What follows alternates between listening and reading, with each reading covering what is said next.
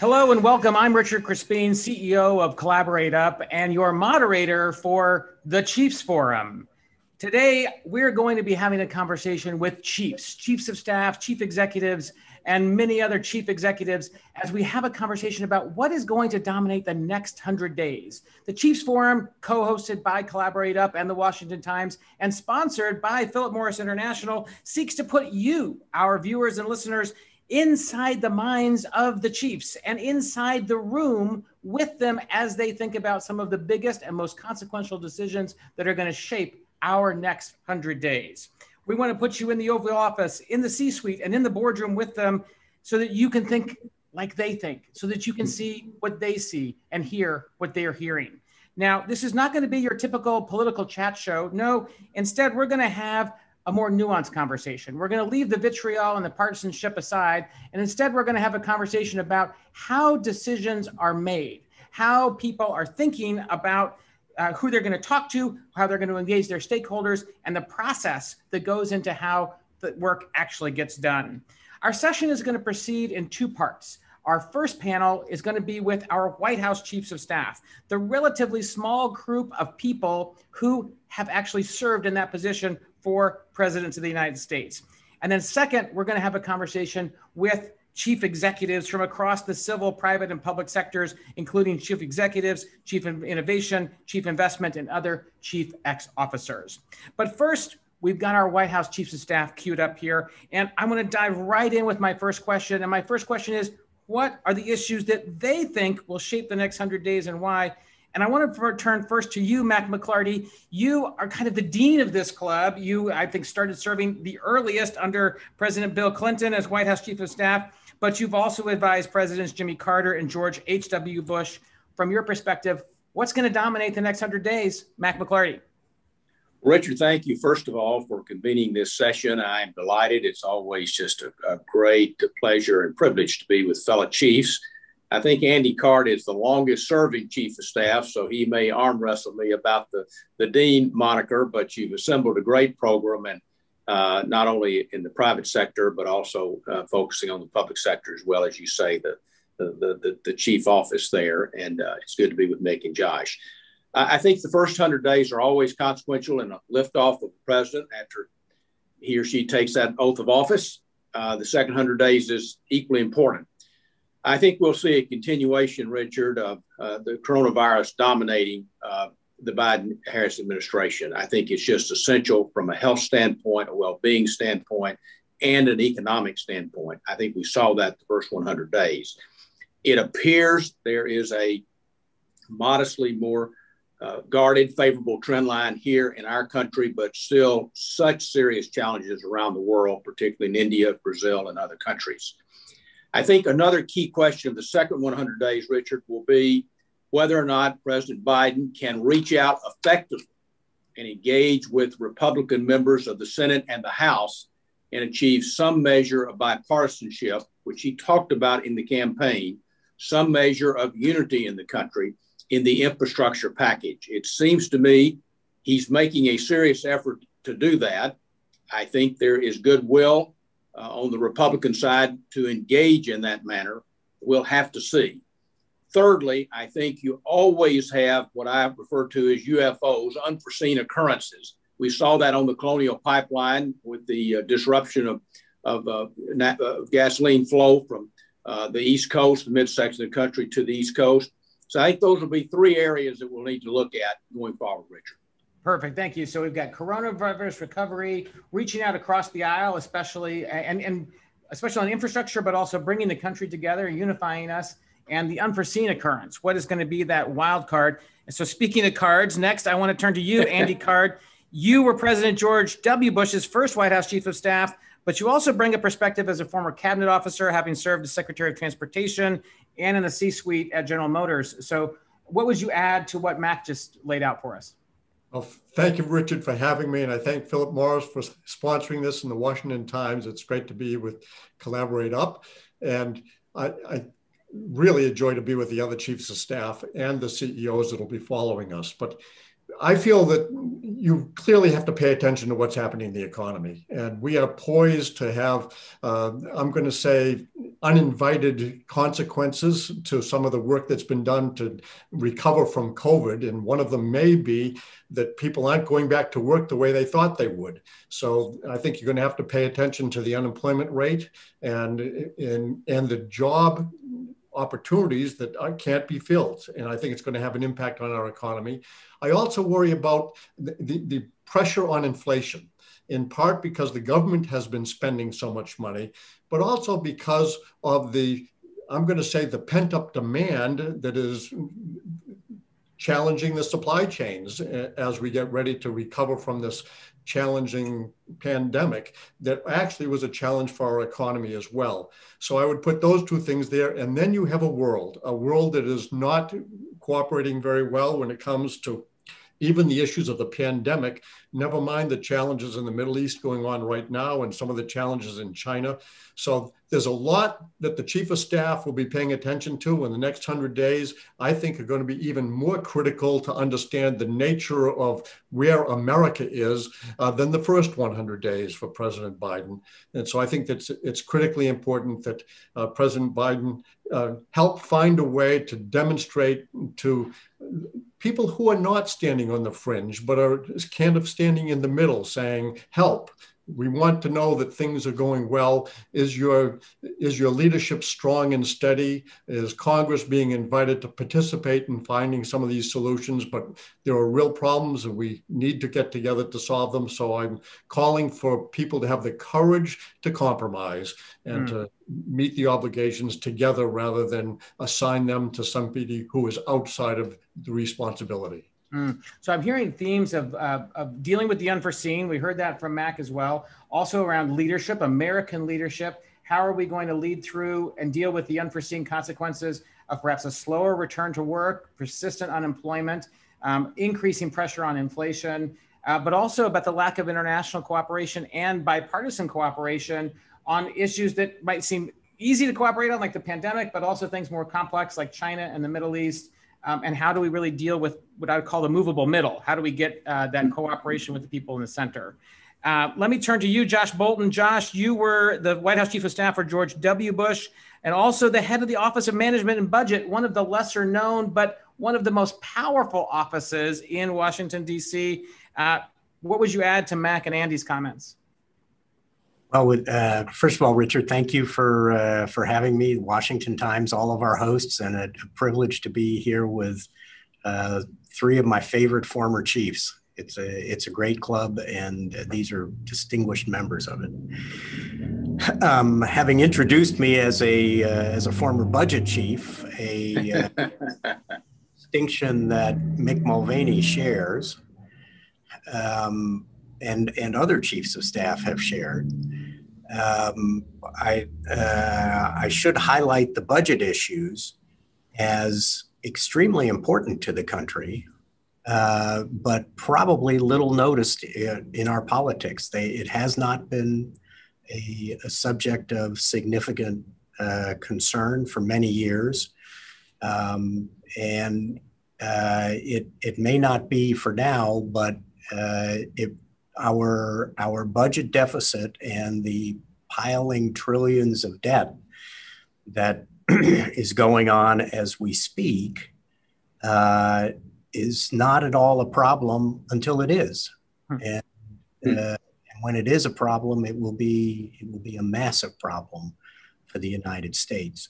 When I uh, when I was first uh, came in as budget director in uh, in 2003 when uh, when my mentor Andy Card was chief of staff and, and sent me across West Executive Avenue into exile at, at OMB.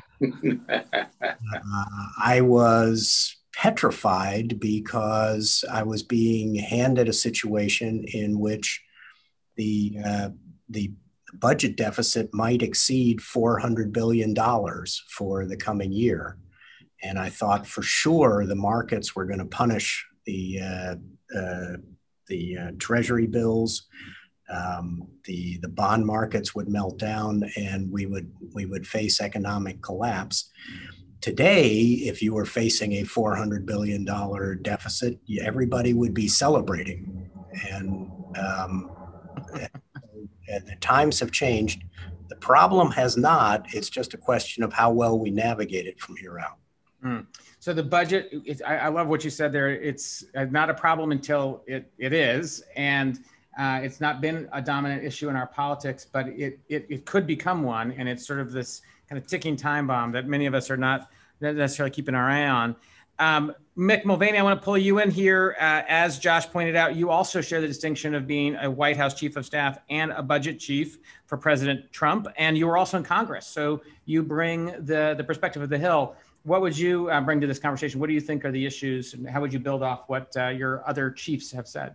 Thanks, Richard. Thanks for bringing us all together. I can't tell you how helpful these gentlemen were to me. Uh, we don't talk about that publicly much, but uh, it was extraordinary to work with uh, each of these gentlemen uh, when I was in the White House. Um, not surprisingly, um, one shared OMB director is sort of hard not to be, so I'm going to stay in the fiscal space. But you're absolutely right. I'm going to put a little bit of a congressional hat on, which is to remind people there's really two times of year when the really, really nasty stuff gets done. Not surprisingly, it has to do with the vacation calendar and Congress. Uh, one of those times is the time in the, is the run up to the time before Christmas, and the other is the run up to the time before the August recess. Um, that falls the next 100 days. What's facing the Biden administration? Two things I think that bear some, at least, uh, elucidation. Number one, uh, they need a spending bill by the end of September in order to keep the government open. Um, traditionally, that has and will continue to be a challenging time for any administration. Uh, added to that, uh, layered on top of that is that uh, technically, I think the uh, the debt ceiling uh, will be breached in July using the extraordinary measures. Um, Treasury should be able to keep things going until generally maybe middle fall, early winter, depending on who you listen to.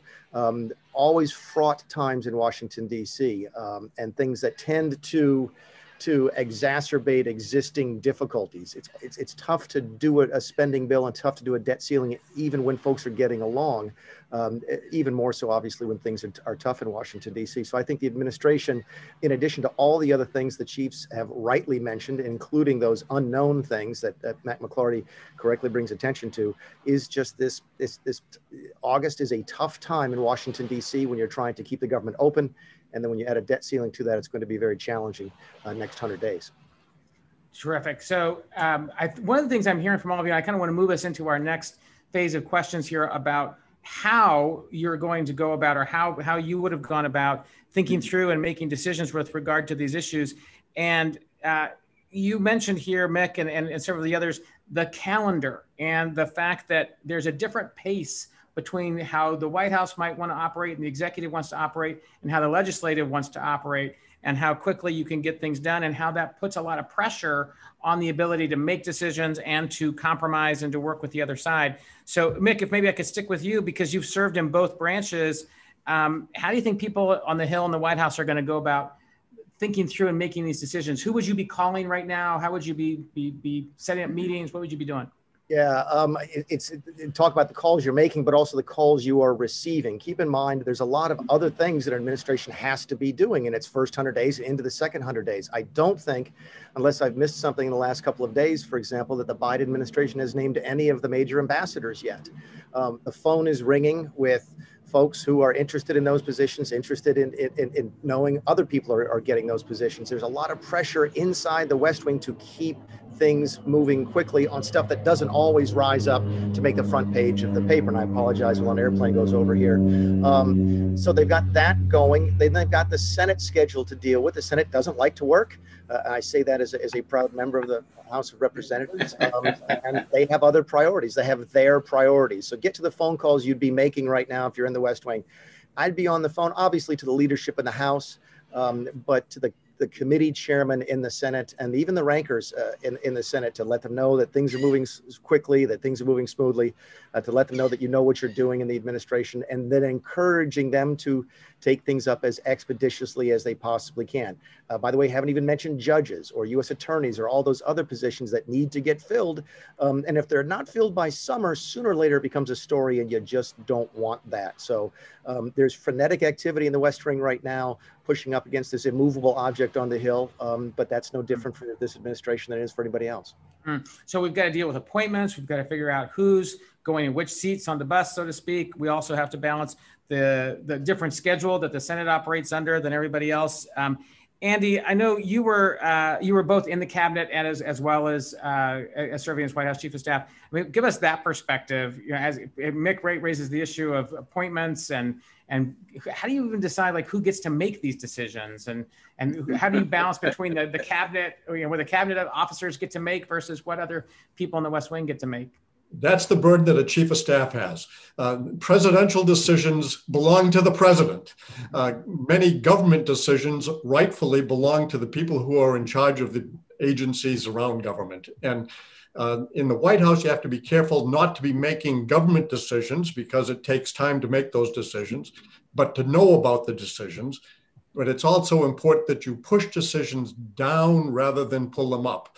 Um, so I, I don't like I didn't like it when people were trying to get the president to make government decisions and they were not doing their job, and the president needed time to make the tough presidential decisions that are always the toughest in government. Can you give us an example? Like what's a presidential decision versus a? a... Well, I hope I hope no president made the decision to paint battleships gray because that's a government decision and it's trillions and trillions of dollars of gray paint but I hope the president didn't agonize over what color to paint the battleships. So, and there, most people want the president to make every decision in government so that they can blame the president. The president will own the responsibility, but they tr- truly trust. The C-suite in government is the cabinet, and uh, the cabinet is is not really, they don't get to vote on issues and say, Mr. President, you can do that which we vote to do the mm-hmm. president motivates them and their job is to lead but uh, most presidents do empower their agency heads to make tough decisions within those agencies and while he's making tough decisions about uh, the peripheral vision that the president has to have, as well as making sure that the tunnel vision is being handled by people who he believes in and will back up. So, the chief of staff's job is to manage the calendar and the clock. And one of the great burdens is that everybody wants the president to do everything all the time. And unfortunately, time does not permit the president to do everything. So the hmm. chief of staff has to manage the clock. I would say, number one, we got to get an OMB director. There's no hmm. OMB director that's been confirmed. And yes, spending is a problem paying attention to when the debt ceiling has to be uh, readdressed is a challenge. And there are huge challenges around the budget when it comes to fixing the debt ceiling because every member of Congress knows that it's a must pass bill. Nobody wants to vote for it. So they will spend a lot of time trading, and we need an OMB director that is in charge of the trade. Mm, mm. So we have to. The, the job of the chief of staff is to manage the clock also to kind of traffic cop which decisions get made by whom and making sure that decisions aren't landing on the president's desk that really belong on somebody else's desk. Uh, Josh, I mean, what, what's what's your perspective on this? I mean, I know we need to we uh, uh, Andy referenced the need to bring in an, an OMB director. Uh, how how are you setting up things when you were there to manage that clock and to determine and traffic cop those issues and decisions? Well, I had I had great examples to follow, not not least card. Um, but uh, I think Richard, you and Andy put your finger on it. That's I think that's the most important function of the chief of staff is fig, is uh, determining what really is a presidential decision. Mm-hmm. Uh, and what should be pushed back down to the agencies. And if it's a presidential decision, making sure that the president hears from everybody who's got a stake in it and uh, gets the best possible advice to make a good decision. That's that's the chief of staff's job is enabling the president to make good decisions on truly presidential issues. So you've got to do the sort. Now, what one of the things that happens in, uh, especially in Republican cabinets, where a lot of former CEOs end up in the cabinet, they take these cabinet jobs and they think they're in charge. They're not. They are they are heads of subsidiaries. There is a CEO of the organization, and it is the president of the United States. And the, the chief of staff has a difficult job in making sure that all of the subsidiary uh, CEOs, that is the, the cabinet members, understand that they get to run their business um, but when it gets to be an important enough decision, and the decision belongs to the president through a White House process, and that's Uh, that's often a, a, challenge that the uh, that the chief of staff needs to enforce. And sometimes, as Andy said, the chief of staff needs to push a decision back down to the uh, to the cabinet officer. I uh, more than once, I'm, I'm sure my colleagues found this as well. More than once, I found myself saying to a cabinet member, "Yes, I can get you that meeting with the president." Um, but my advice to him would be that you're taking to him an issue that it is not presidential. Mm. He may also conclude that you are wasting his time. Do you want to take the risk of the president concluding that you're wasting his time? And in almost every case, they say, no, I'll take care of it. Mack, what about uh, you? Also, I'm sure you dealt with all these issues. Um, what about the other players inside the, the, the White House and, and the executive complex? You've got, we've talked about the cabinet officials, we've talked about the relationship with the Hill. What about the office of the First Lady or uh, with others uh, in and around the president and the advisors and the other people that make up, um, you know, the, the rest of the process?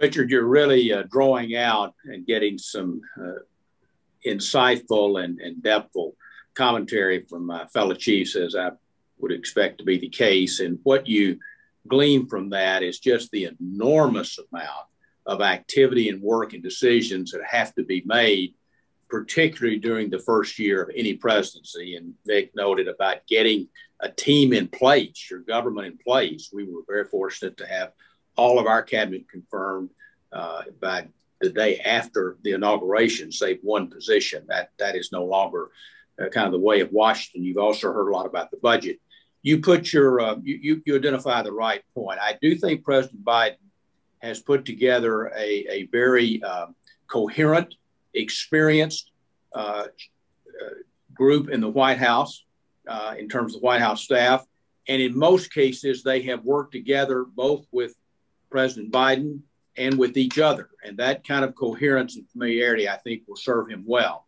the key coordinating policy agents, uh, agencies or, or, leaders in the White House, as my fellow chiefs know, are the National Security uh, Council, the National Economic Council, which we actually established in the Clinton administration, and kind of combined that with the Domestic uh, Policy Council. Those are th- three very key positions. But you've also got the Cabinet Secretary, going to Andy's point and Josh's point about cabinet members.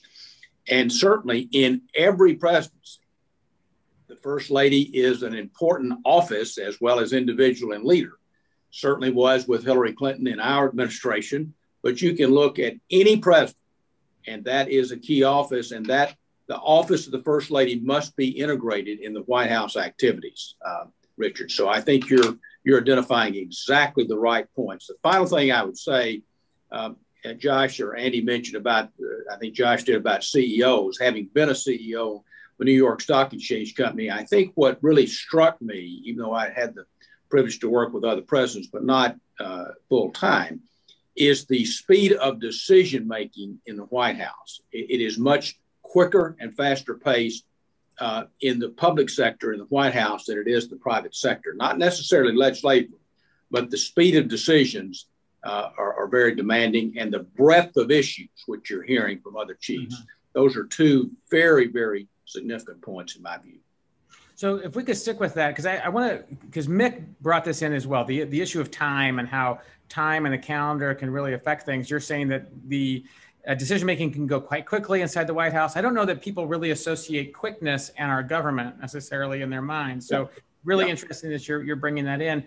But how do you how do you manage conflict as well when you're under time pressure. So you, you mentioned several centers of power here, the National Security Council, the National Economic Council, the cabinet secretary, the cabinets, the, the cabinet officials themselves, the first lady, the, yeah, how, how do you manage when those are in conflict with one another and you're under time pressure, how do you deal with it? I'll ask you that first, Mack.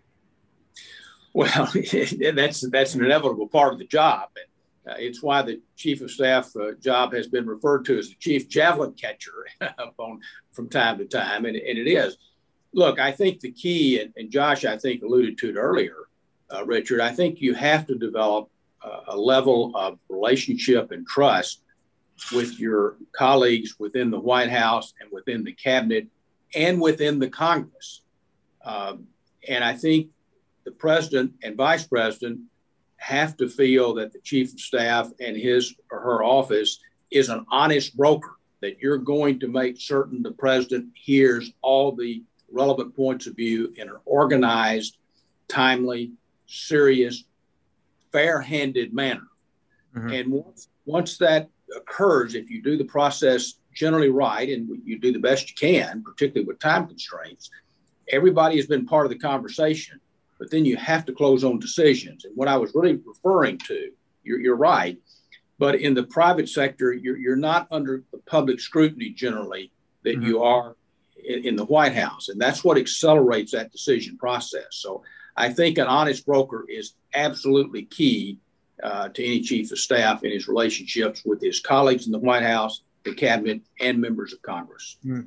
Josh, you all, you also brought up this issue of conflict and, and managing the conflict. What, what would you add to what Mack just said?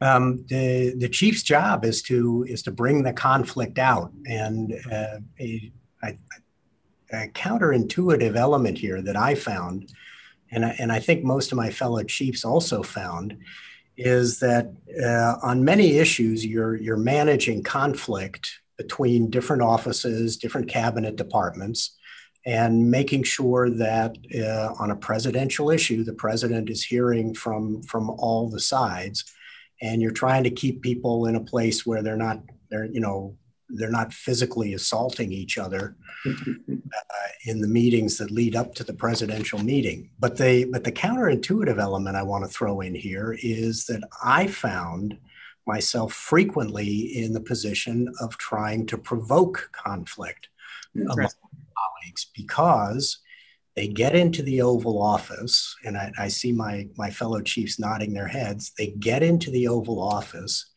and all of a sudden, in the presence of the president, president in in the uh, in the hallowed grounds of the Oval Office, things are kind of mellower, and they don't want to put a really tough decision on the president's plate. So they they kind of take the edges off their arguments.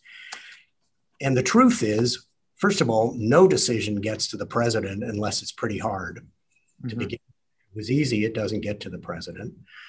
Uh, and when it's hard, it's important for the president to hear the sharpest version of the disagreeing points of view, and then he gets to make a decision. That's what that's what presidents are there for.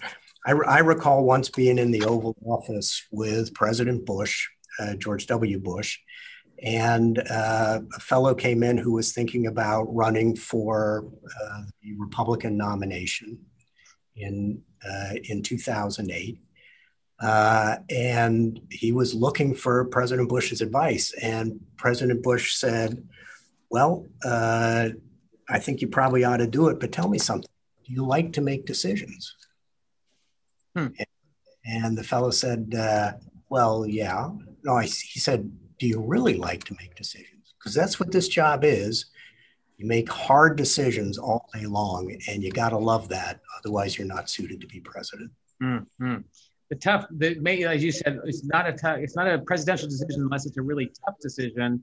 Um, Mick, I saw you nodding your head a lot there. Uh, your thoughts there on how, how to how to perhaps provoke conflict, but also manage through conflict. Yeah, I, I had to laugh because Josh almost took the words out of my mouth. I actually got a little bit uncomfortable when there was no conflict. Um, mm. but his point about how there might be conflict in the in the uh, in the outer oval as you wait to go into the uh, Oval Office to meet the president, but by the time you get in there, all of a sudden people start to go a little bit soft. And I actually remember one time when everybody got in there, they had disagreed fervently. I can't remember the issue; it doesn't make any difference.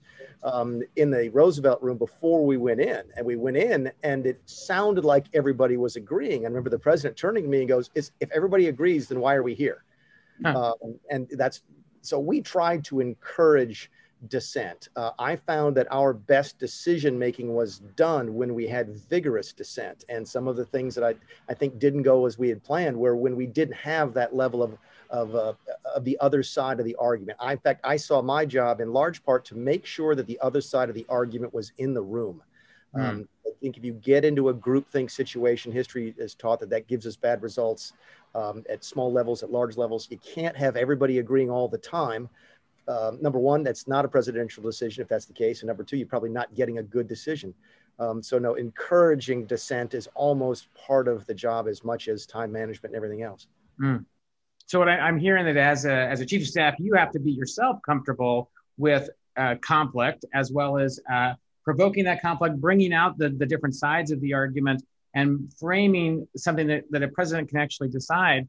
Um, Andy, I'd like to turn to you on this. And, and I, what I've heard is like, we, we have to manage these conflicts. We have to kind of bring the conflicts to a head.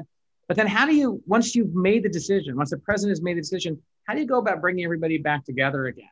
Uh, particularly if the sharp knives came out uh, First of all, the, the, role of a chief of staff who serves at the pleasure of the president is to work every day and not seek that pleasure.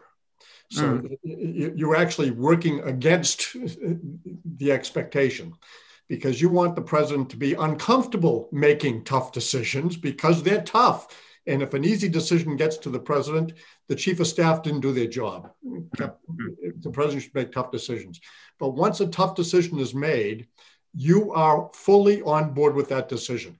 And you, you don't want any president to make a decision uh, without being optimistic that they made the right decision. Mm. It's a brutally tough decision, but they made the right decision. Therefore, the chief of staff's job is to make sure everybody who is obligated to implement that decision understands the president has made the right decision. Now we've got to take it and get it done. And yes, that's the chief of staff's job. But if the president is doesn't like his own decision or her own decision, it's very hard to motivate people to implement it. Mm. And the White House does not get to implement most decisions a president makes. They're implemented by departments and agencies, and sometimes, you know, a platoon leader.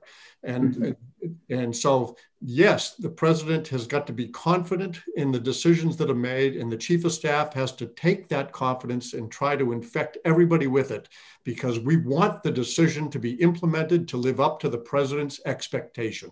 Mm. So the president, so that's really, I, I, think that's also kind of counterintuitive that really the key to getting everybody else on board is to make sure that the president himself or herself is really comfortable with the decision um, itself. That's, that's, that's a great insight. Um, we're coming towards the, the tail end of our, of our time together, but we, we still got a few more, about, about 12 more minutes or so together.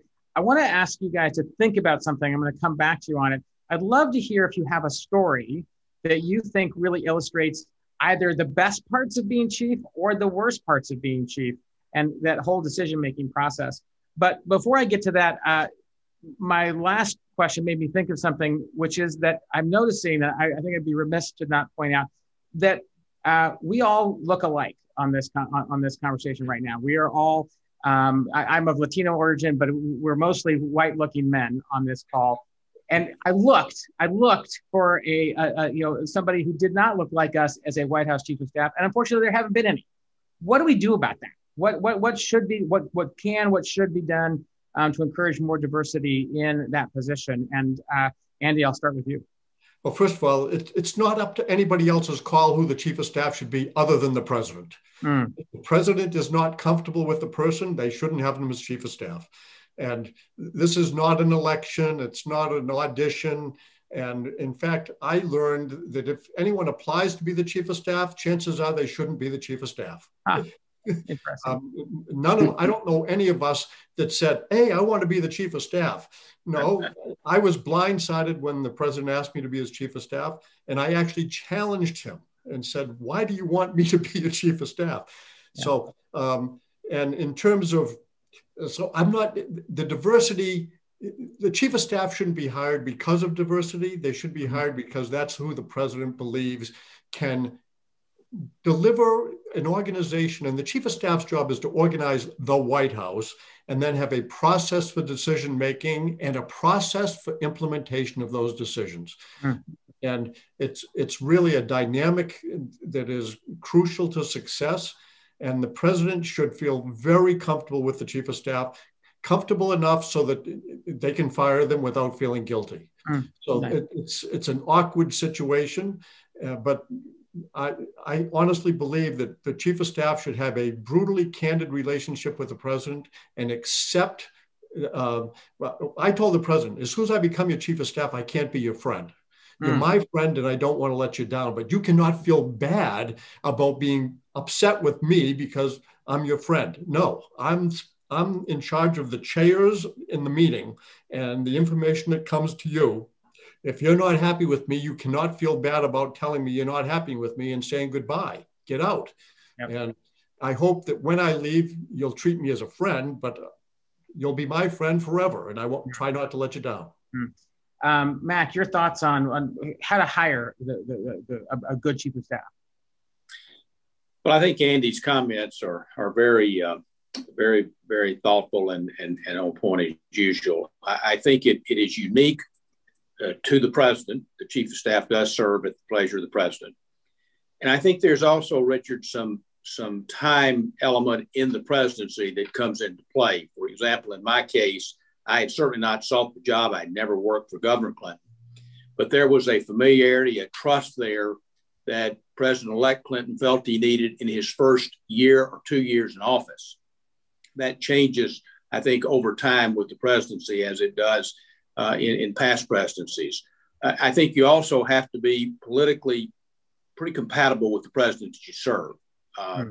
I, I, think you can't be out of step there. I think it almost goes without saying. But at the end of the day, there has to be a measure of real depthful mutual trust and mutual respect. And the chief of staff, in my opinion, has to be comfortable uh, really being very candid with the president, but in an effective manner, in private, in a trustful way. I think that's absolutely, absolutely essential. Mm, thank you.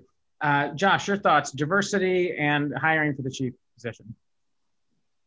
Yeah, well, I uh, I endorse everything that Andy and Mack just said about the president having to be comfortable. Uh, I mean, really comfortable with the, with the chief of staff, um, and uh, that's probably one reason why we've all been white men in the in the chief's office because with uh, with one exception, uh, our, our presidents have been white men. And um, they, uh, but I, I, I, I, candidly was was surprised that uh, that President Biden didn't uh, didn't break the string of white men in uh, in the chief of staff's office. I I thought he was likely to, to reach out uh, for a woman to uh, to fill that role, and I think there were several well qualified ones who could have. Uh, but don't forget, the average longevity of a chief of staff is, uh, I think, two years and four months, something like that. Maybe, Maybe after the Trump administration, Mick, it's gotten lower. I will point out that Obama had three and a half in his first term. So um, we had four, sort of three and a half. But yeah, you're right. That life expectancy, I think it's about 20 months or something like that. It's, okay, it's gone below. Okay, thank you, Mick. It's gone below two years. So uh, even President Biden, if even if he's only a one-term president, is likely to have an opportunity to uh, to put a woman or a person of color into that uh, into that seat and be a good thing. Excellent, Mick. Your thoughts?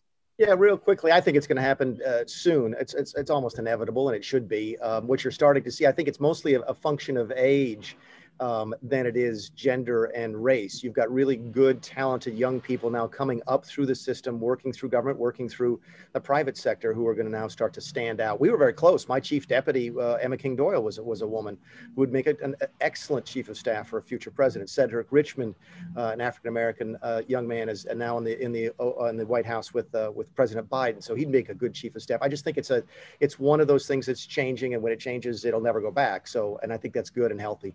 But uh, I think you'll see those uh, those those changes coming fairly rapidly. Terrific. Well, in our last few minutes, I did want to hear um, your story. Like, give me one story that you think really illustrates either the best parts or the worst parts of being chief, and maybe gives us a takeaway here of what our our, our friends in the audience can um, you should be taking away from our conversation. And uh, Mack, I'm going to go back to you again as our as our I, have appointed you as dean. Um, Richard, a couple of comments. Uh, one opening comment I want to make certain that in this forum uh, that's sponsored by the Washington Times and Philip Morris and others, that we remember that there are key constituencies outside the White House and the Congress. I think it's imperative that the president have a pulse on the American people and engage in that manner, including with governors and, and local mayors. So I want to make that point up front, if I, I may, because I, I, think I think we, that's important uh, in our discussion. In terms of kind of the high points and the low points, uh, West Wing, uh, the series, uh, uh, the television series, captured that pretty well in their portrayal. What they didn't quite make clear is they had a script and all of us didn't. We, we were operating without one. That's very different.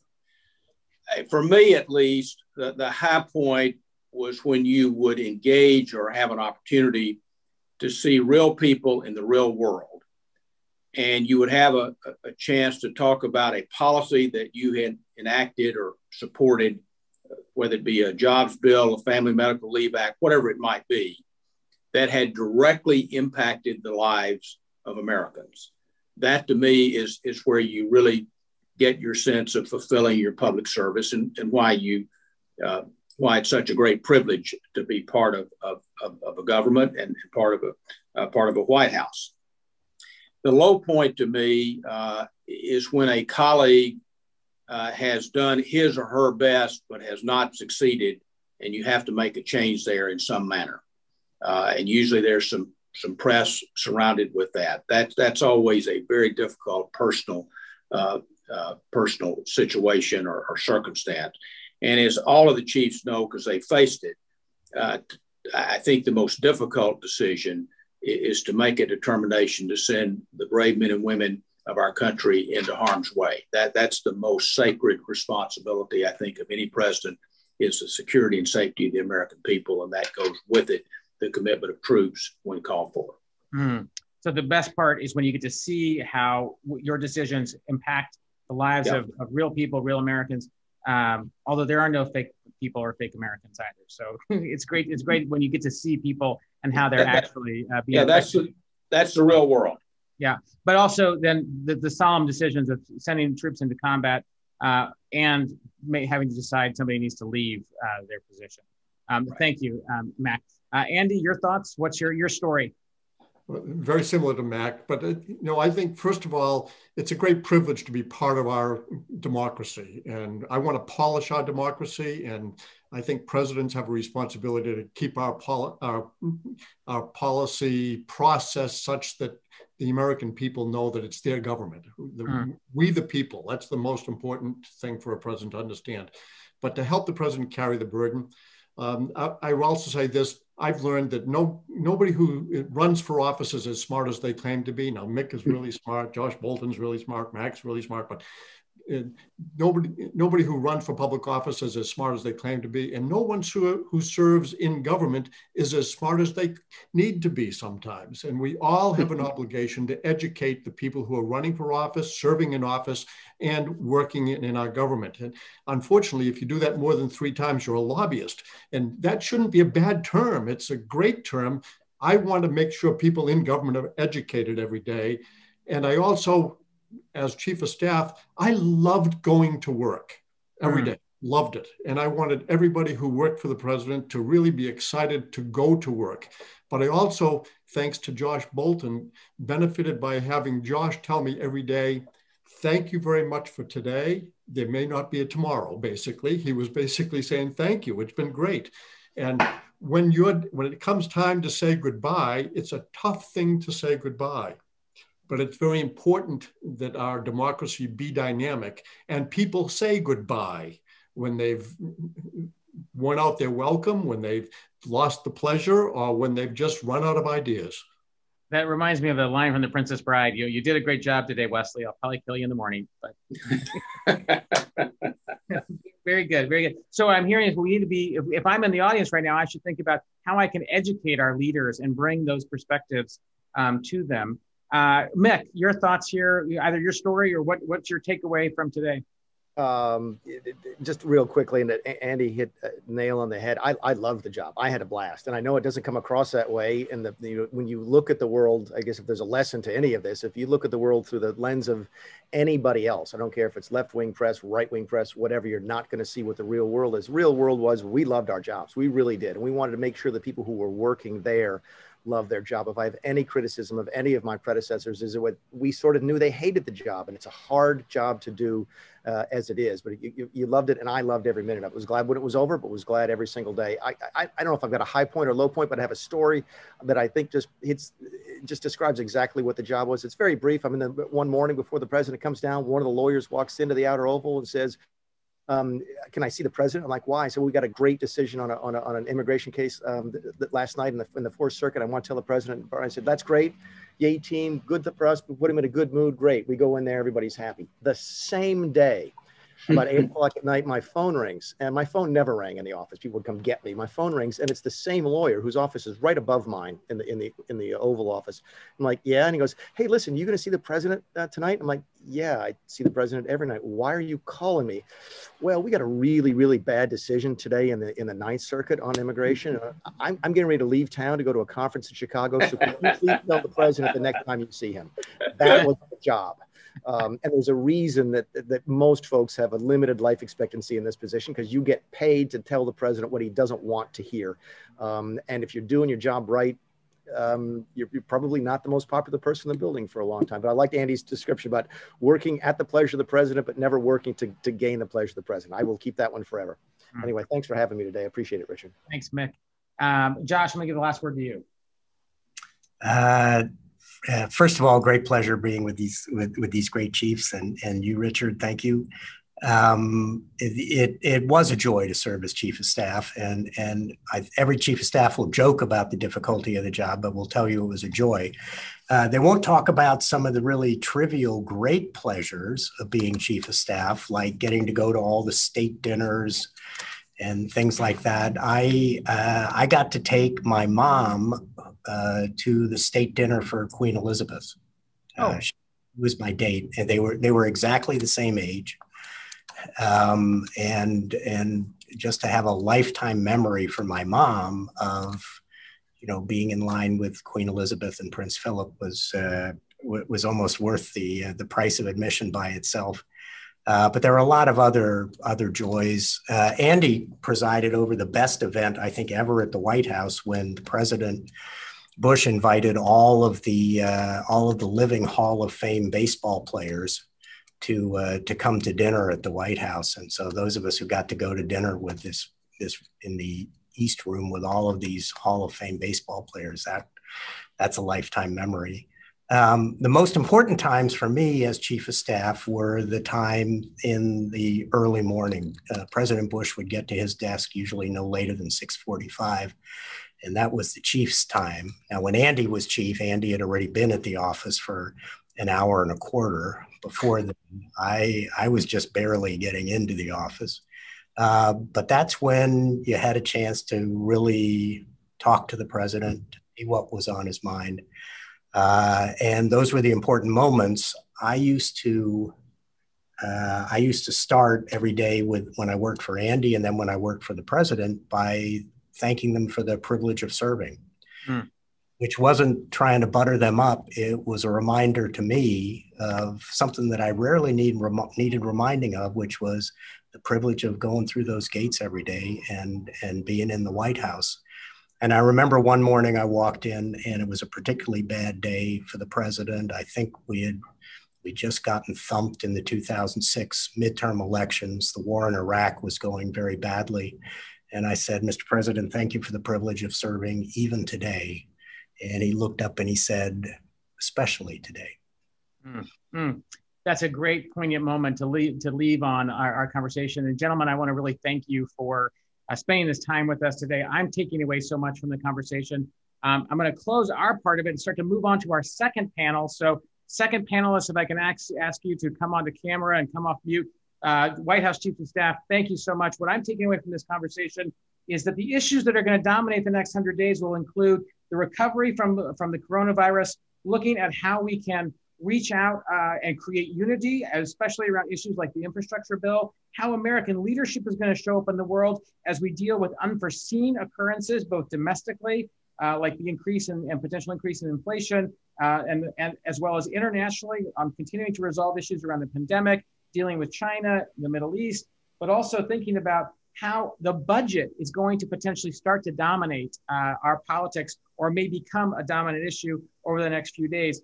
From a process point of view, I'm listening in, and I think we're going to carry this into our next part of our conversation. Issues around how do you make decisions? Who makes decisions? How do you delegate? How do you deal with time and time pressure? And how do you build trust and manage conflict across a team? White House Chiefs of Staff, thank you so much. It's been wonderful having you with us. Um, next panel, I'm going to bring up our chief, uh, our chief executives and chief innovation officers. Goodbye, White House chiefs. Thank you so much. Um, and I see our, our, our other chiefs have joined with us. Um, and please do come on to camera if you can, please, um, as we as we uh, start to move into our next panel.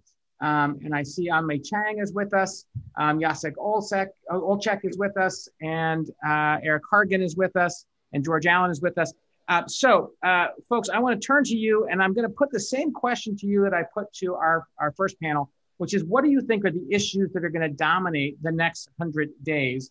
And in particular, I, would love for you to build off of, you can either go deeper on one of the other issues that was discussed, um, or you can present new issues that you think are going to dominate the next 100 days. And uh, I want to turn first uh, to you, Ann Mei Chang. Ann Mei, you and I got to know each other when you were Chief Innovation Officer uh, for the U.S. Agency for International Development.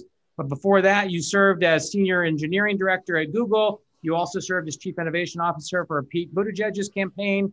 Um, and you're also the author of Lean Impact. Uh, so when you're when you're think, give us the perspective from Silicon Valley or from USAID or uh, or out on the campaign. What do you think are going to be the dominant issues for the next hundred days?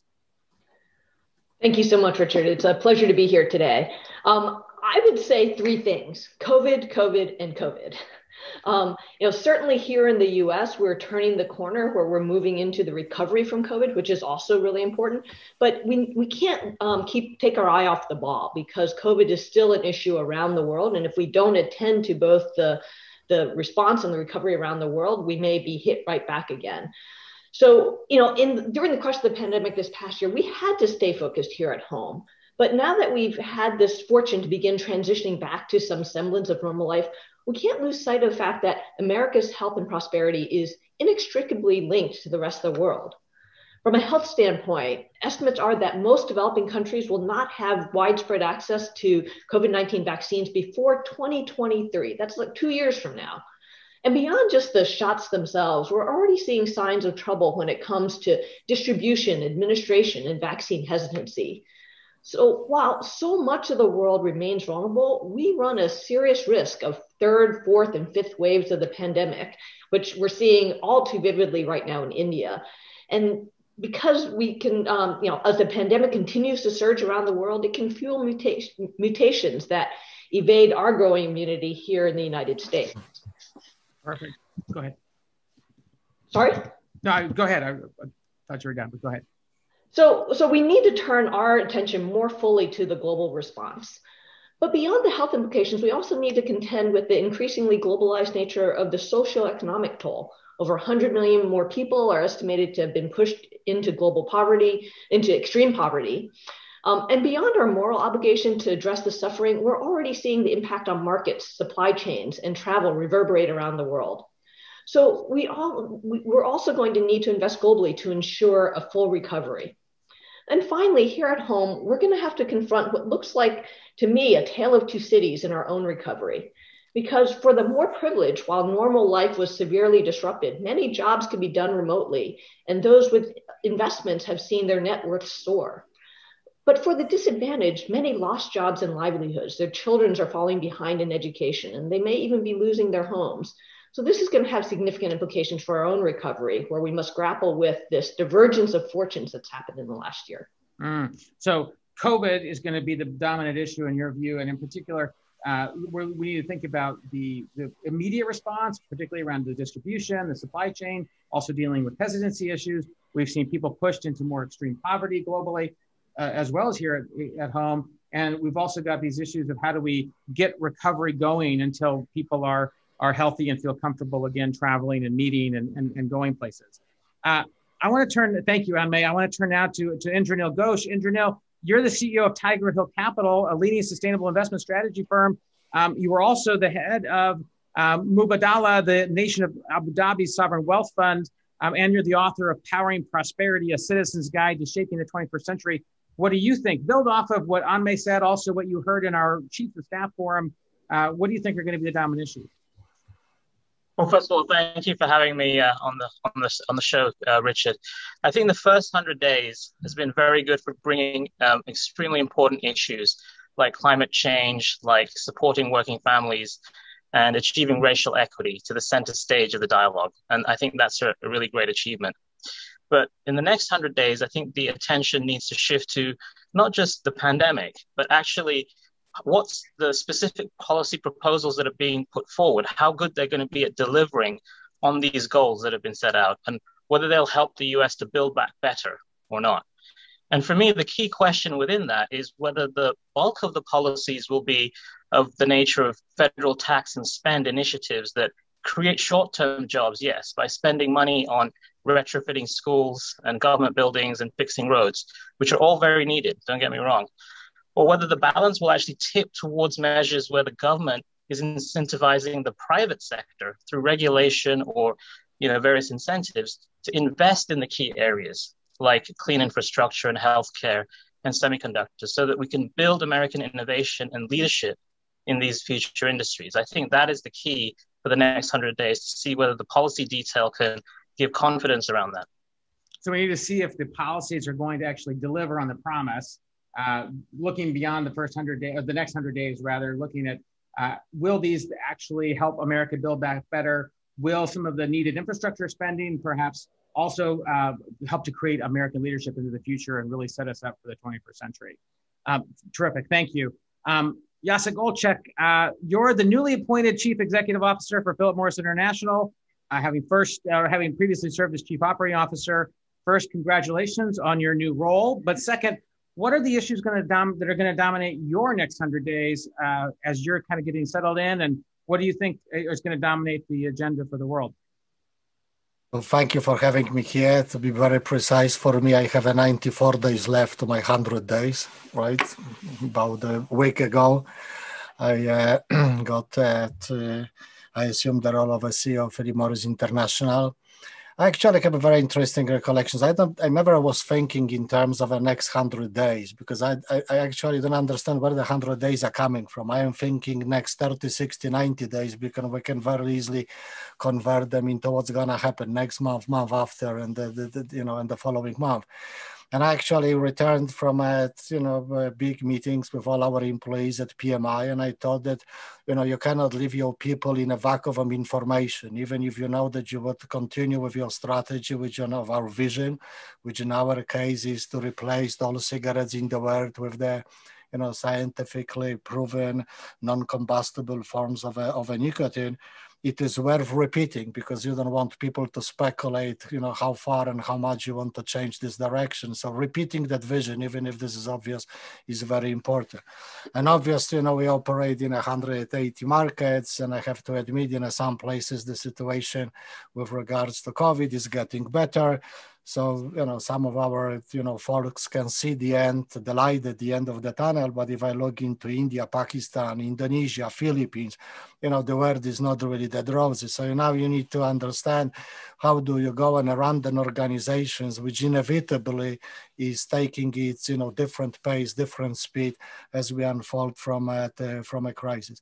I believe it's very important for all of us that nobody is left behind because if you think, I mean, we're living in the global connected world, whether we like it or we don't like it, but I think altogether we have actually benefited from uh, uh, from the fact that you know we, we more or less uh, you know participate in this global economy in a positive sense of this of this word. And i think would be very important and we'll recover from this covid more or less in the same time. And if i see what is happening you know on occasions with you know the, the, the vaccine distributions how different uh, uh, you know problems are being solved i think it's very important not to leave everyone behind because this will backfire on all of us later on mm. this is a mobility crisis and the thinking that the one country when it can regain its mobility in a sense that you know i can go to work i can continue my daily routine but i cannot go abroad i cannot you know entertain the meeting with my colleagues abroad i cannot go for a vacation i cannot see my family abroad i mean i will very soon realize that everyone has to recover otherwise we'll never go back even close to what we used to have uh, before so no i am born optimist optimistic optimist. I believe it's gonna happen, but we have to be very, very careful. So I'm, you know, very happy that I passed my first six days in PMI, reconfirmed the visions. We go smoke-free. Vision was the right strategy. Is okay. You always can find a better way of executing and accelerate the the path to to to achieve that vision. Mm. But you know, it's effort worth uh, taking and. Uh, I also realize one thing that you know in a business you have this uh, uh, uh, you know a fury is not a fury actually but a concept of the black swans that from time to time you see the black swan and this is this event which surprise everyone etc and I have to admit that the number of uh, black swans I've seen over the last 18 months is frankly speaking worrying Mm. I wonder when was the last white swan I have seen recently because I see a Suez Canal, I see a COVID, I see a I see a shortage of CPUs. I, you have a number of the things which theoretically shouldn't have happened, and all of a sudden everything is happening. So yeah. it's getting a little bit worried. How many black swans are still in front of us? Right, right, right. So um, I, your first job as a CEO is to get out and re- reiterate the vision and make sure that people understand that uh, you're staying the course uh, and that that uh, your commitment to ending combustible cigarettes remains your commitment. Uh, but you're also seeing worrying signs because if it's an uneven opening, if it's an uneven recovery, it's not really a recovery uh, for any of us. And there's these black swans are coming faster and more furious at us. Uh, Eric Hargan, I'd like to bring you into the conversation. You were Deputy Secretary of the Department of Health and Human Services. You also served as Acting Secretary and as the department's Chief Regulatory Officer. Uh, most people probably don't realize HHS is the biggest agency in the government uh, by budget. Uh, what are you seeing? What, what what what what would you have been thinking when you were when you were in the chair, and what are you seeing right now? Sure, um, and you know, uh, by the way, it's an honor to be here, and actually an honor to have served uh, both the Bush and the Trump administration under three of the four uh, chiefs that you had in the first part of the program. So uh, good to good to see them again. Um, well, you know, I'm going to echo what was said before. I mean, obviously, me coming from the healthcare sector, uh, you see the wind down of the pandemic is really going to be the story of the next 100 days, I believe. Uh, and I hope that uh, as we move forward, what is being done is we get the lessons learned, the positive sides that we've seen, uh, at least in the sector, things like the rise of telehealth, uh, a lot of innovation that happened. I was in the board of Operation Warp Speed. We do not want to lose uh, what we learned uh, in the in the public sector and in the ability to collaborate with the private sector in such an effective way. Uh, and I think that these these things, and as and as the uh, attention inevitably shifts, I think out of the United States in many ways into the international arena with the pandemic, uh, because uh, what has been done here and in a number of other countries has been sort of is I think going to effectively quell the pandemic in large part. It's already happening here. Uh, inevitably, the attention is going to shift overseas, um, even inside the United States. But I think uh, the important thing is to figure out uh, what positive we can take away from this uh, and to build upon it uh, so that we can never, frankly, have to go through this again. Uh, excellent. So we have to figure out how do we continue the public-private collaboration? How do we encourage innovation? How do we, as we turn our sights to what's over the horizon and what's coming, uh, what's happening internationally? How do we make sure that we can uh, uh, deal with those issues and hopefully improve the ability for everyone to recover, but also take away some positives from this from this pandemic? Um, yep. That's fantastic. Lastly, George Allen, I want to bring you in. You were the Commonwealth of Virginia's 67th governor and a senator. Now, I know we're in the midst of election cycle in Virginia, and I, I, know the Republicans just picked their nominee for governor, but I want to steer clear of the politics of that race. And instead, I want to I want to ask you about a, a kind of a unique thing in Virginia. Uh, I don't know if it's unique, but I know it's very rare in that the chief executive, the governor, can't run for reelection in, in successive terms. So you've lived through exactly what Governor Northam has lived through. the 100 days of this next 100 days where you're not seeking reelection. How would you be approaching these issues? What do you think are going to be the issues that are going to dominate for Governor Northam? But how would you be re- be dealing with the kinds of issues that might cement your legacy? Who are you calling? How are you reaching across the aisle? Uh, and how are you working with your fellow governors right now? Well, the last year that well, you, you're always working for the people, and you're trying to keep the promises you made to the people when they gave you the honor and responsibility of serving. Uh, listening to Mack McLarty and the other chiefs reminded me that in every one of my cabinet secretaries' rooms, we had a, a, a picture of horses running across the open plains, rangeland, and said, either make dust or eat dust. And we wanted to lead. And we, we started off at a full gallop with a loose cinch, and you don't have a lot of time. In fact, I think good executives, at least at the state level, what I did is we went through a whole list of all the promises I made. And and then we decided what years we wanted to get things done. What did we want to get done and you know focus on year one year two year three? We did not have anything for year four. So year four was going to be keep fighting for the, the priorities that didn't get done in year one two three or four. So you still can get things done. You still can help people in improving their lives um, we had a cabinet uh, it was listening to the chiefs I wanted a cabinet of people who knew more than I did or more knowledgeable than I was in their areas. Like Rob Martinez knew more about transportation and infrastructure than I did. Had a great Secretary of Commerce and Trade. Kay James was perfect for welfare reform, having grown up on welfare and transitioning to the idea of independence. So you can keep uh, doing things till the last moment. The Virginia governors, accorded a lot of responsibility to get things done.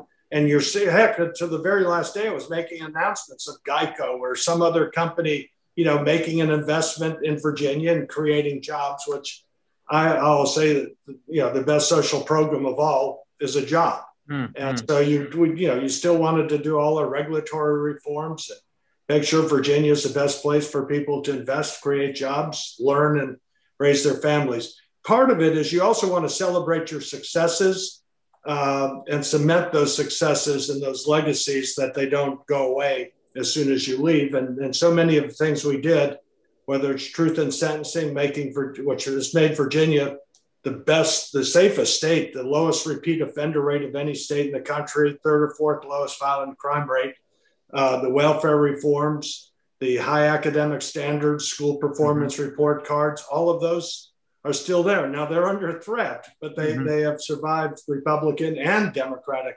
governors in subsequent years. So you do want to cement those legacies and, and, and have the people understand why that actually matters to them in their lives, right. not just right. theoretically, but personally.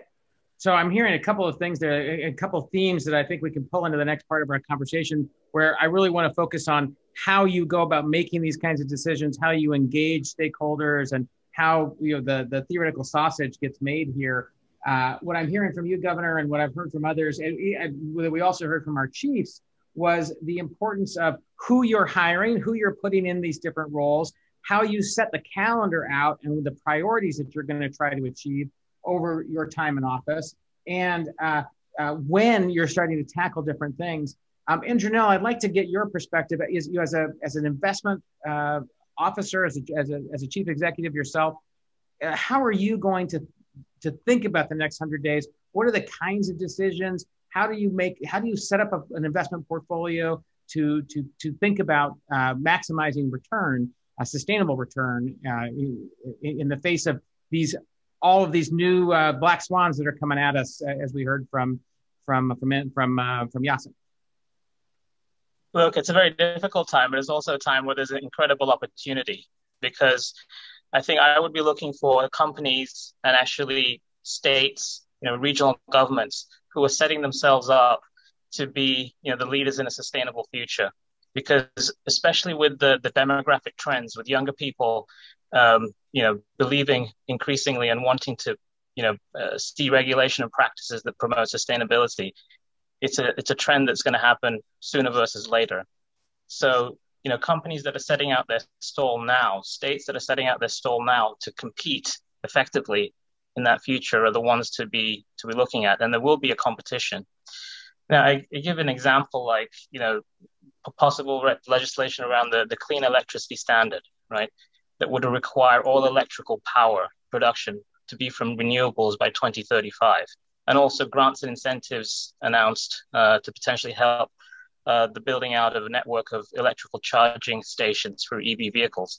These are, you know, big pieces of uh, legislation that create opportunities for all sorts of industries like geothermal and, and biofuels and uh, energy storage, um, you know, agricultural um, uh, products that are more sustainable. And the companies that are setting up their stall now to take advantage of these opportunities are the ones that are going to be, you know, the champions of the future. If you look at what's happened over the last 10 years, you know, companies like NextEra Energy that invested early into wind and solar are now more valuable than the Exxon Mobil, which, you know, didn't you know, put enough measures in place to be part of that transition. The next 10 years, starting with the next 100 days, are all about how we get ready for, for that you know second wave of the, the, this sort of transition to the new green economy. And in, for, as an investor, I'm looking for the companies and the states and the local governments that are getting ahead of that, that curve and competing for the capital, competing for the talent, competing for the new opportunities ahead of their competitors. Mm. So you're looking for the jurisdictions, the states, the localities, the nations, as well as the companies that are setting themselves up for success uh, in these in this newly changed environment, uh, both to to deal with perhaps changes in regulation, but also to deal with a changing in consumer attitudes and the black swans that the, and the unforeseen events that might be coming coming our way. Um, I'd like to pull you in. I, I know uh, Philip Morris International. Uh, you're, you're you're trying to essentially reposition the company in some of the ways that Indranil just said. You know, to try to take advantage of changes in consumer preference and also through the introduction of new products uh, that would essentially end combustible cigarettes. So, tell us how, how are you thinking about how you're positioning the company, and what are the steps you're going to take over the next 100 days to build trust and to build um, uh, confidence? Well, uh, six years ago, when we started our transformations, all our revenues were coming from cigarettes as we know them, right? And from the combustible products. I mean, uh, last year, five years in a transformation, six years in a transformations, quarter of our revenue is already coming from the combustible, non-combustible uh, repeat again, scientifically substantiated alternatives to smoking. Now, we set a very ambitious target, objective, but I believe is attainable that by 2025, more than 50% of our revenue should come through that alternatives. And in addition to that, I think we should be in a position to generate the first billion dollars for coming from the products which have nothing to do with the tobacco and nicotine. Because I believe the capability which we have built on the scientific sides, on the clinical assessment, clinical development, can help us to pivot also part of our business into this into this territory. I mean, a few people only know that we have already some years ago invested, for example, in the startup in Canada, which today is on the third, uh, the last days of a third. Uh, stage uh, clinical studies on the COVID-19 uh, vaccine, which is produced on the based on the plant that that plant happened to be a tobacco related or coming from the tobacco varieties plant. And this is where we shared with this company of the knowledge which we brought to this business is our knowledge of agriculture and the knowing the genome of the plant etc so it's a number of the capabilities which we have built while developing better alternatives to smoking, which I believe can serve the company beyond the next 5, 10, 15, 20 years. And all the results is going to be a more sustainable, sustainable business. So the transformation, I, I guess, will never happen. I personally stop, you know, start hating almost the word of a transformation because it gives you the expectations. You start something on Monday and by next Wednesday over. You will never be over because if you have a creativity, innovations, and a great people around you, you can now start going and moving the company into the territories nobody ever heard about. Uh, about. I think there will come a day I will have to remind people that Philip Morris used to be a company which was selling cigarettes Mm. And I think it's actually closer and the faster this may happen that, that many people can suspect. So um, this is where we are. So it's not a it's not a defined start and stop to a process, but really a very long journey. Uh, and, and what I'm hearing you say is that you're kind of assessing what are the assets that the company has. How can we bring those assets uh, to to improve uh, our understanding of science and also uh, how those those uh, uh, products and services can help to uh, do other things that aren't related to tobacco and aren't related to, to combustible cigarettes and looking towards a future when Philip Morris International is no longer in that business. Um, Ann Mei, I want to bring you in here. Uh, you know, Eric brought up the issue of, of innovation and continuing innovation, and how do we make sure that we harness uh, American innovation for the benefit of the world, and how we're going to do that both for, for America as well as for uh, getting to this uh, future that Jacek talked about of, of not having an uneven um, uh, recovery. So, as a chief innovation officer, how do you see the role of innovation? Well, I think that one of the biggest mistakes we make in government is that we treat most activities as if we're procuring a tank. That is, we think we know exactly what we want and that it's a matter of pure execution. Now, when we have a proven solution to an understood problem, this can work reasonably well. For the most part, the bureaucracy is set up to ensure fair procurements, compliance to regulations, and that our precious tax dollars aren't wasted. But in the situations where our solutions are woefully insufficient or where the problem has shifted dramatically, these same systems stifle the risk taking, the agility, and the innovation that we need to succeed. And of course, you know, this pandemic is unlike anything we've seen in our lifetime. So we need to approach this with humility and focus our efforts not only on implementing solutions, but also finding solutions. Um, in the private sector, Bain described this distinction as an engine one, which is the core business or things we know how to do well already, and an engine two, or growth or innovation engine. Um, and what the government has not figured out how to do as well and is starting to make strides towards is developing that engine two. And I think this current situation is going to force us to do so. Um, and I think a similar framework could be used where we identify where innovation is needed. Um, and then engage stakeholders in new ways, as Indranil described, as problem solvers, as co-creators, as innovators, where we incentivize the innovation that we need to solve the problems we don't yet have solutions for. Um, we, we, and we just saw a great example of this with the breathtaking speed at which vaccines were designed and tested and distributed toward, through this collaboration between the public and the private sector. Um, and we can learn from that uh, and recognize that many elements of our recovery are equally ambitious and are going to require creative solutions. Um, mm. And this is going to look different. It's going to be a different way for government to work that can be unfamiliar. And I'd suggest three things. One is stop picking winners too soon. We need to let a thousand flowers bloom by embracing smart risk taking and experimenting with a lot of different approaches to figure out what's going to work best. Um, to do so, the second is we need to build in the agility to learn and adapt as the knowledge and the context changes um, for, for these problems. And third, we need to measure success, not solely based on the activities that are being performed, but also on the outcomes and the results. And, and like I said, this is going to be a very different way that government needs to work more and more as we encounter, you know, just just these unprecedented challenges in front of us. Mm, terrific. I I love that that distinction between it, it takes a different set of processes to find the innovation versus implementing the innovation, that engine one, that engine two. I know you, you mentioned Bain. I know Clayton Christensen has also written a lot about this of, around the innovator's dilemma and that, that sometimes the processes that we use to implement things actually crush uh, the innovations that we're trying to bring out.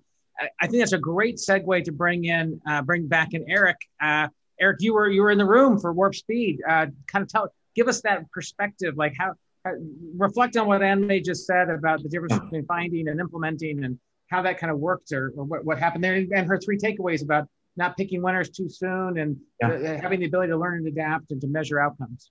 Well i mean that was that was the essence. I mean i was on i was on the the, the board there and the leadership in warp speed. And you know that was important that we had over 100 vaccine candidates to start off with that the clinical group could go through to get it down to seven 14 then seven then six finally and we had a number of options available uh, and really new technologies, uh, which had turned out to be successful and bring a much sooner end into this pandemic than we could have otherwise hoped uh, in that uh, in that area.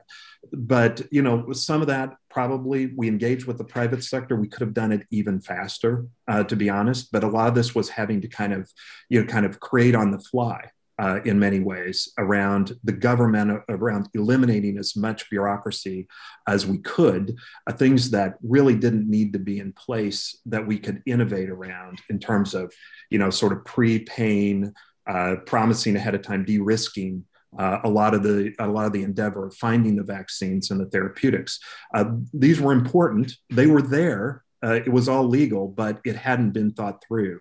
Uh, and now, hopefully, uh, those tracks have been laid and people will understand in the future how to do it. I think one of the important things here, though, is for us to think through in the future. And I think this very much goes off her point is about the the distinction we saw between or i saw between the medical science and technology on the one hand and then how it has been perceived and implemented so the distinction between medical science and technology on the one hand and public health infrastructure on the other the messaging uh, how things are perceived and and how we deal with the appetite in the public for these very definitive uh, and immediate answers to things that often do not have immediate and definitive answers right away. It's a balance between the scientific endeavor and the need for public policy and for answers to the public and guidance to them on what they should do.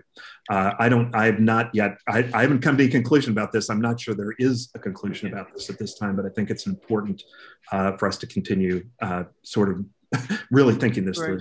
But if I could, if I could press you on that point for a second, because one of the things we heard from the chiefs of staff was that oftentimes their job was to bring the conflicts to a head and to you know cause the decision to be made.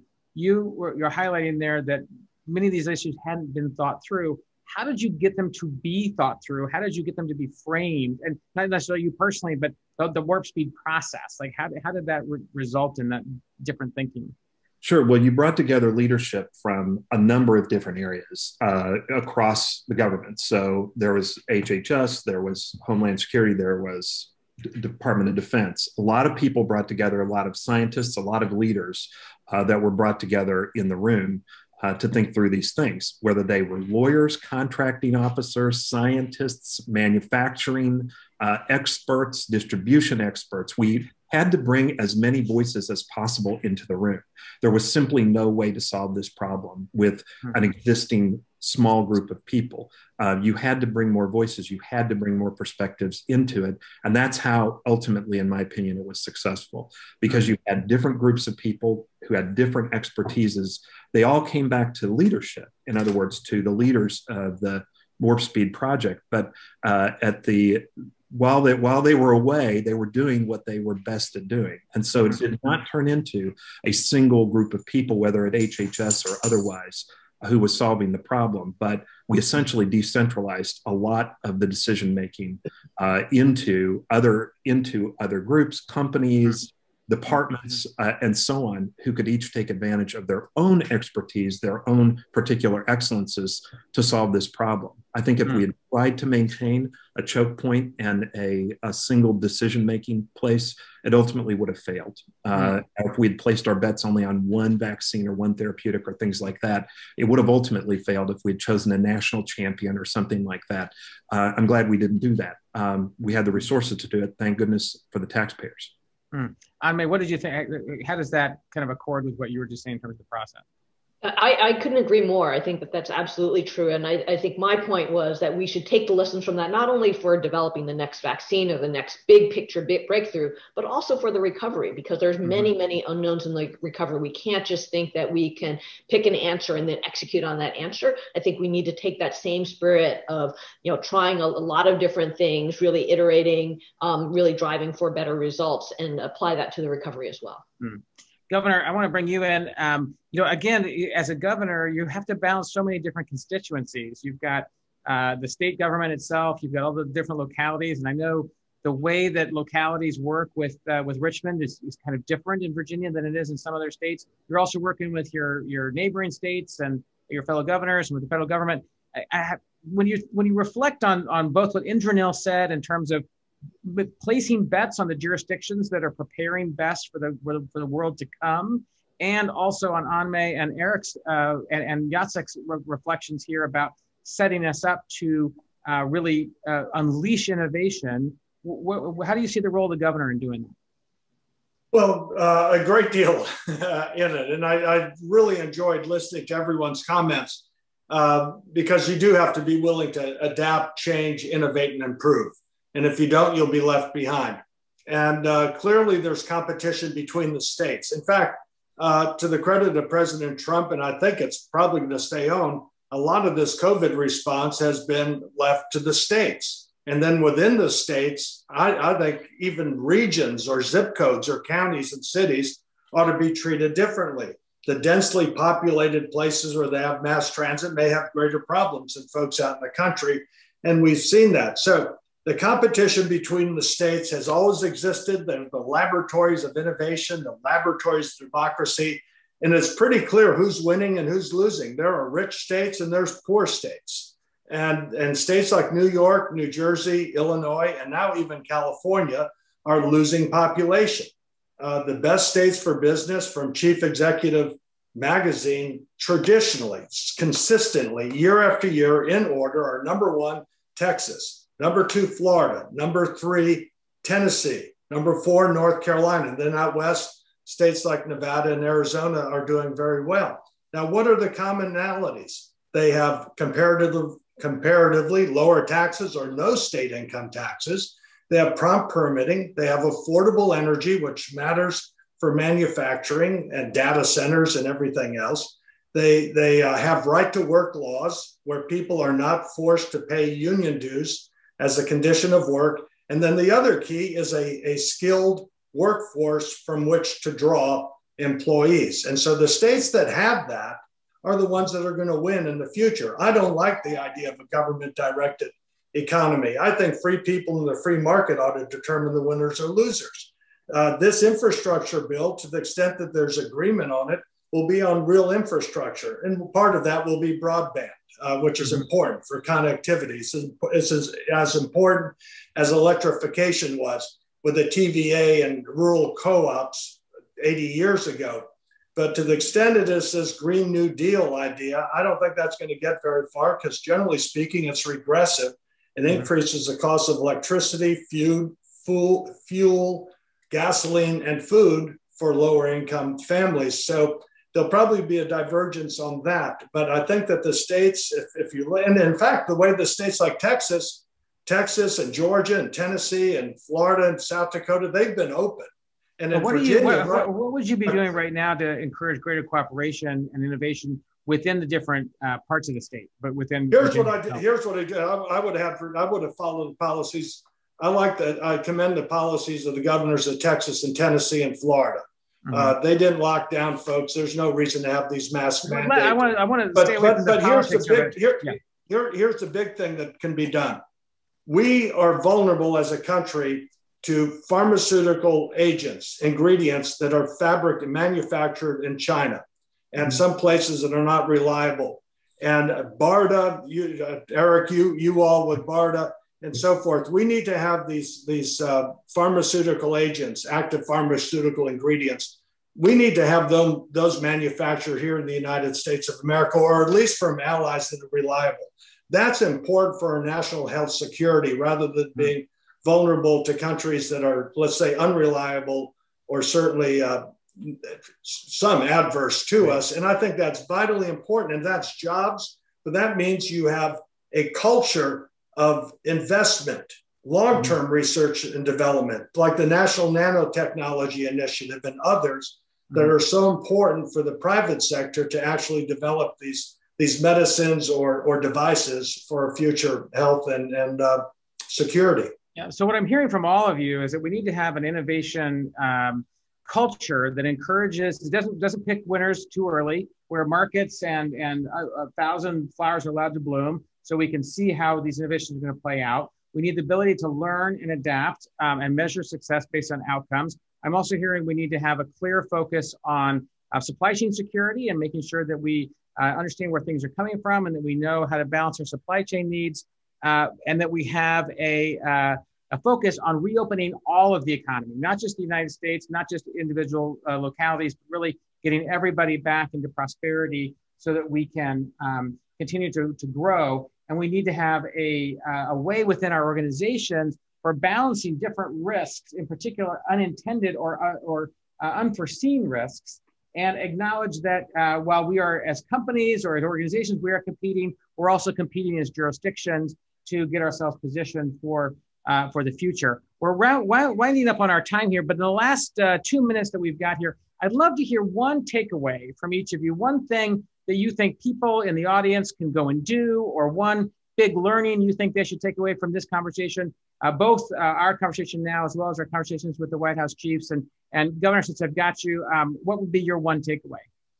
I think people listening, make sure your voices are heard by those who are making decisions. The people are the owners of the government. So whether it's your local government, state government, or those at the federal level, whether you're an association, whatever it may be, make sure that your personal stories, your voices are being heard. And that will help mm. those making decisions make better decisions.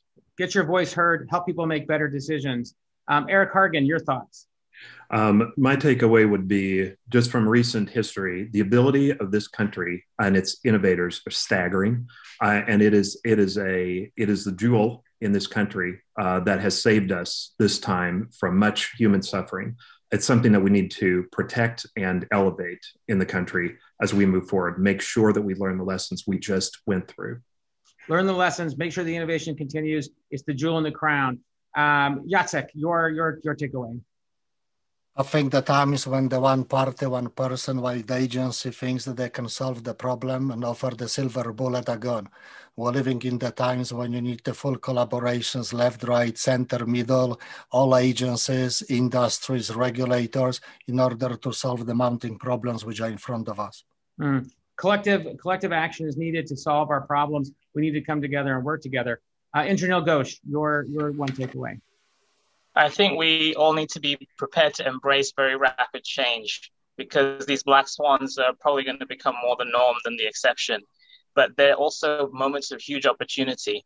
Um, if you look back at this last pandemic, who would have thought a year ago that we would have moved so far in things like remote working, you know, moving out to different parts of the country, alleviating pressure on cities because we can do that now, uh, to telehealth and all of the other amazing innovations that we've been forced into um, and, it, and as part of embracing change is that collaborative spirit. The public and private partnership, public and private capital need to come together to inject capital resources and talent into those opportunities. Mm. Big challenges, but big opportunities. Be prepared to adapt um, and, and strike when the iron is hot. Uh, Ann Mei, I put you on the spot to start, so I'm going to give you the last word. Uh, your final thought. Um, I would say we've appropriated an unprecedented amount of money for the COVID response and recovery as a government. And it's an opportunity for us to show that government can be an incredible force for good. But to do that, we're going to have to not only get excited about the number of dollars and the areas that we're spending them on, but also look at how we're doing that. And that is going to require us to modernize government to make it fit for purpose for the 21st century problems that we're facing these days.